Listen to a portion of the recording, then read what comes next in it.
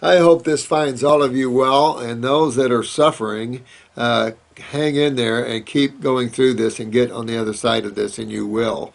Sometimes you have to do better, and then sometimes you have to know when to draw back a little bit. So you have to kind of play a little bit here and working with others and working with yourself even.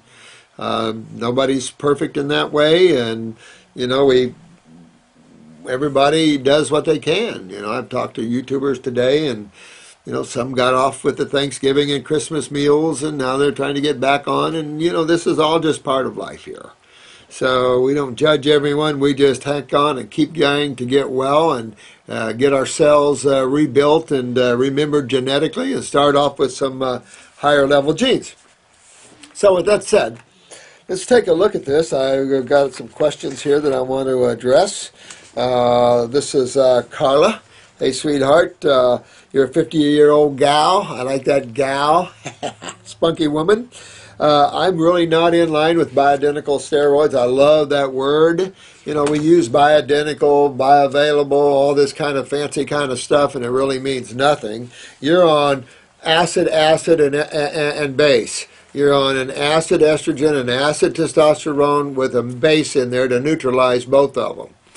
In reality, those are those are all three in I'll say the estrogen and testosterone are probably more brother and sister than progesterone. Progesterone is the base side of those two that keeps those two in check and neutralizes them. And again, by taking them, it's well established. I don't care if they're bioidentical or they're yesterday's uh, soup, uh, you're going to lose your adrenals. And you just don't want to do that. It's just not worth it for a 50 year old gal to lose her adrenals. Uh, it'd be hard to live with a woman like that. but uh, you you're you don't remember if you take them. Eh, I don't care what form they're in. Your body quits making them, and they gave you. It's kind of like mixing hydrochloric acid and your acid digestive enzymes with your base digestive enzymes. Same kind of thing here. I don't like that. Uh, the fact if you got weak adrenals, you got to fix them. And uh, fixing them can be all kinds of ways. You can use herbs, you can use glandulars, but you want to do a systemic, a whole systemic uh, work on yourself because if you're having trouble with adrenals, you're going to also have trouble with kidneys and the lymph system to some degree.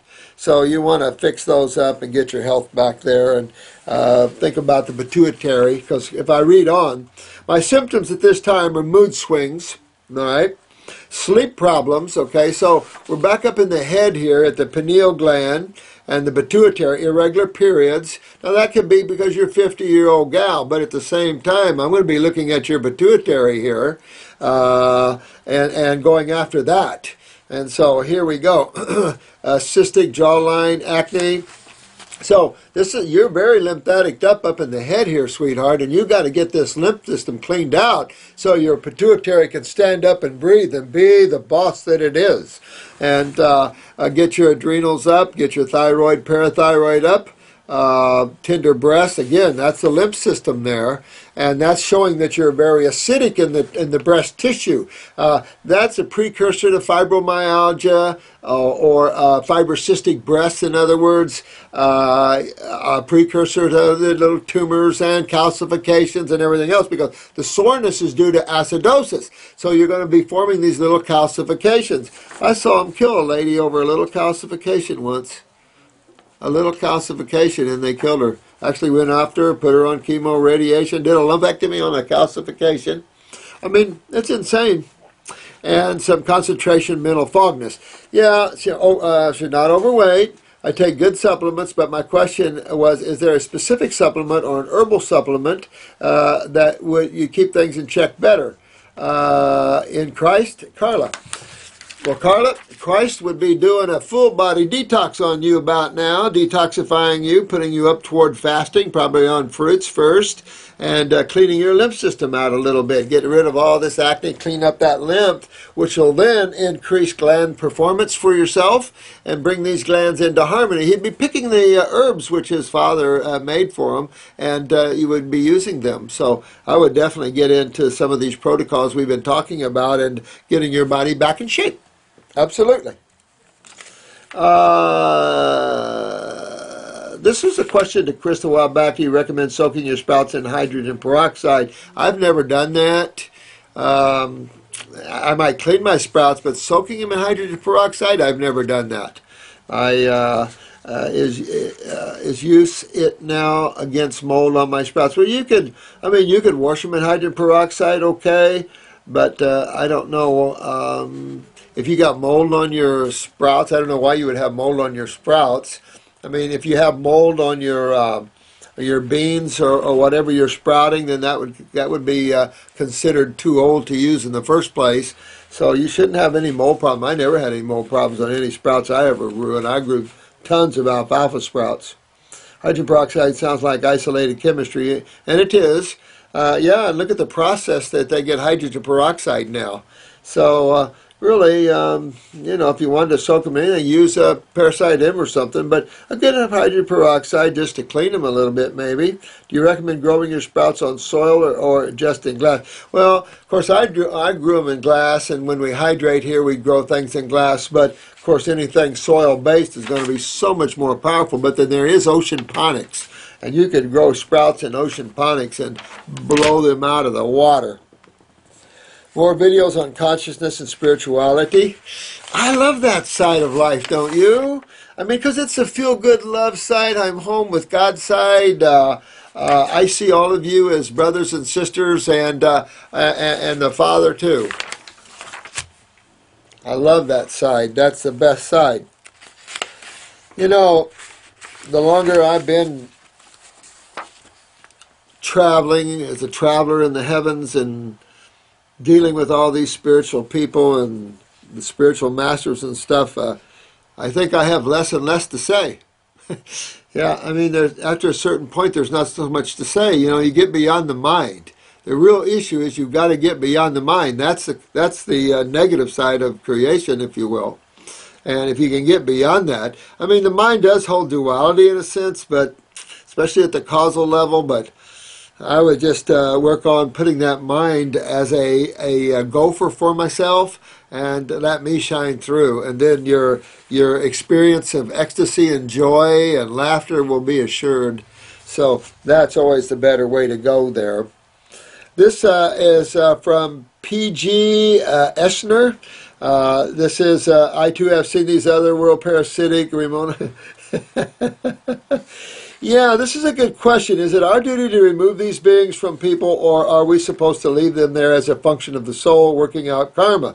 Yeah, it's a very good question, and for some of the Christians, it might be a little hard to take this question, but uh, forgive us because there is all levels there to work with, and so uh, it's just good information to know that you can always be a victim uh, of someone else and they can be in their physical body or they don't have to be in their physical body. You should always be the watcher of your consciousness, that no one takes advantage of you and takes your joy and happiness away, both uh, physical or etheric.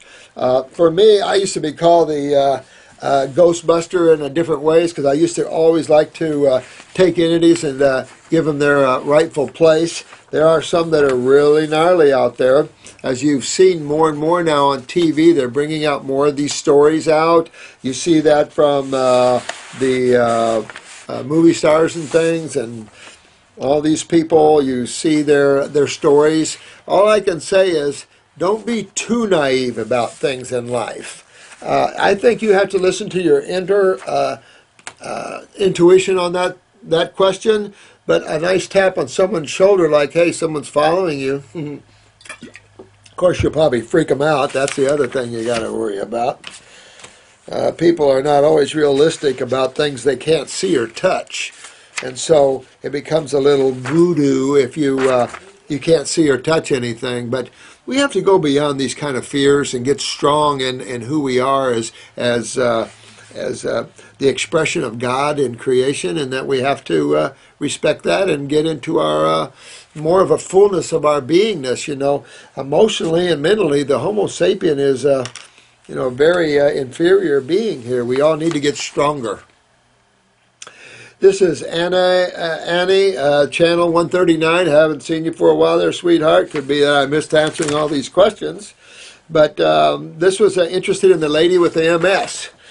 Well, you guys are about to see a nice video her husband's going to do on her. The thing is, he, these are incredible. I mean, he's a chiropractor, but he's a fitness freak. I'm telling you, I've never seen anybody work an MS client like him, even if it's his own wife. I think he uh, emailed uh, last week and she did 85 deep knee bends. That's hard for the average person to do. And she did 150 some uh, female push ups. You know, I mean, that's pretty incredible. This lady's tearing it up, man.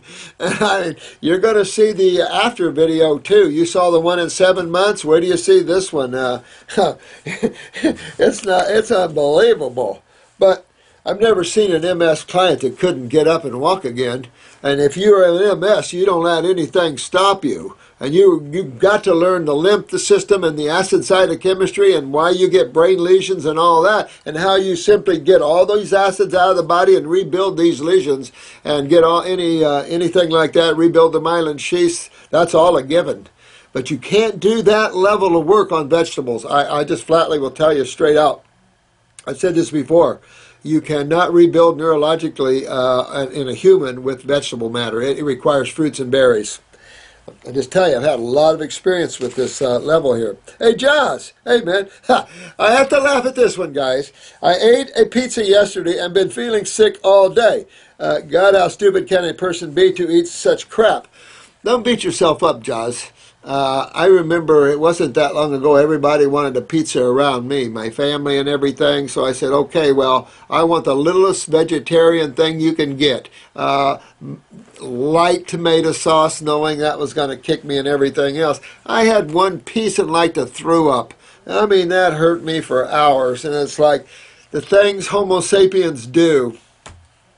So you're in good company, my friend. We all we all do that once in a while, but you know what? It's kind of a safety net because when it kicks your butt, it's a driving force to get you back doing good again. Your body knows exactly. I've always said if you can get your clients or your friends or your loved ones or yourself one month, one month on raw, and then you go do something like a pizza.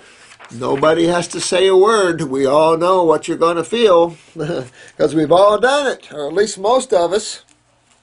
It's just life in the fast lane, you know. Some smells are overriding. Just some smells are so good they don't equal the taste or the effect of the food. That's for sure. Uh, this is N E R O L I. Neroli, uh, 528. Uh, this is the question regarding a 75 year old female with reoccurring bladder infections for 20 years. Well, I, I, that many years with that high acid in the bladder uh, can lead to nowhere good. So this lady really has to, to turn this around for herself. She's 75. She's got a lot more years in front of her, but she'll turn this around. Uh, definitely want to start drinking the Heal All tea, I would, and start running those herbs through my bladder and my kidneys for sure. At the same time, I'm going to honk down with some herbs for my kidneys. I'm going to go after my lymphatic system since that's what this UTI or the bladder infection is.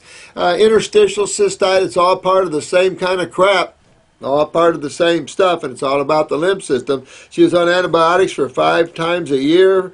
Oh, I mean, you know, her skin is breaking down with rashes, and the docs have used every uh, strain out there. Well,